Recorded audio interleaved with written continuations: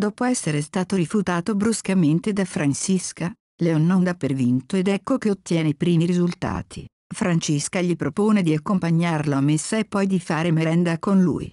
In quell'occasione lui le chiede di diventare sua moglie. Ippolito continua a fingere di essere Marciano, il suo inesistente cugino, per paura di non piacere a Quintina. Si lascia trasportare dalle parole di lei e le dà un bacio, ma Quintina reagisce male. Gonzalo è tornato in paese, raccontando di essere stato ad un ritiro spirituale, quando in realtà era assieme a Maria. Fernando si sta organizzando per ereditare il patrimonio del padre, ma pare che non avrà nemmeno un centesimo. Giacinta finge di essere sconvolta per la morte di Anna, ma in realtà da quando è morta è terrorizzata, tormentata dal ricordo di ciò che le ha fatto, la ragazza si sente anche osservata. Annibale e Pedro hanno stretto un accordo in cui Pedro può vendere i loro formaggi con il marchio Miranar, così c'è più probabilità di guadagno.